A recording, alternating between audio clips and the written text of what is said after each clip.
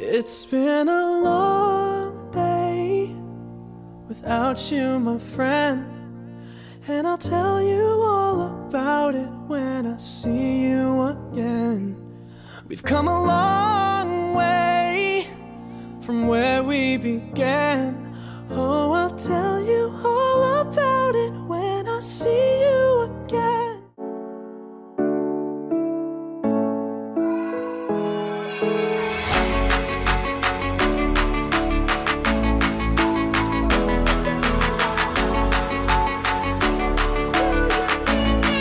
Welcome there guys back to King Quasi. I hope you guys enjoyed that intro to this career mode, but this isn't going to be the first episode. This is like a, a trailer kind of thing of this um, career mode.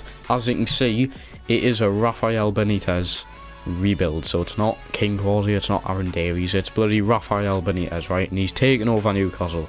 And I hasn't yet in real life, but I'm going to be doing this um, just as a cool thing to do instead of just King Quasi. It's, it's Benitez. So um, there is some news to put out there though. I'm not going to be doing anything on this career mode um, because it's going to be starting on the 29th of January 2021. That is next Friday, the Friday coming up. Um, this is the team. I kind of switched the starting team around a, a slight bit um, to make it look like this. So this is the team we're starting out with. Um, there we go. I've got no one on the short list or anything like that. And um, this is the money we're starting out with right there. And um, some of the objectives. I'm doing completely nothing on this career mode until the 29th of January, which is when the first episode will be. I'm going to be streaming it live. It is going to be 9 pm on that Friday night. 9 pm on the 29th of January, next Friday. The fixtures are interesting. Uh, very tough fixtures. First, look at them. They are very tough. I'm not doing a preseason tournament, but we are going to be playing the training this time.